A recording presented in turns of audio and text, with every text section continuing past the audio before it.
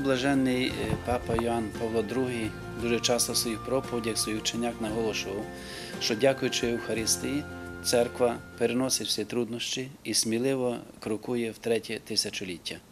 Якраз дякуючи Євхаристії, церква дійсно живе, розвивається і має свою перспективу. Якраз це ми хочемо показати нашим вірним. Хочемо, щоб вірні наші поглибили своє знання, приблизили до себе цю тайну Євхаристії. Що дякуючи Євхаристії, ми дійсно розвиваємось, ми живемо, і це те, що найдорожче має церква, Євхаристію. Кожний християнин, який глибоко вивчить цю таємницю, він зможе е, більш е, плідно користатися цієї тайни. Бо кожен християнин, хто буде користати з Євхаристи, він буде е, сам розвиватись духовно і цим самим буде збагачувати цілу церкву.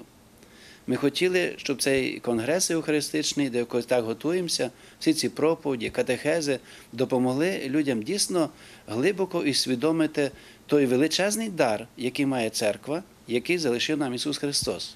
Бо в Євхаристії Він сам є з нами е, завжди присутній.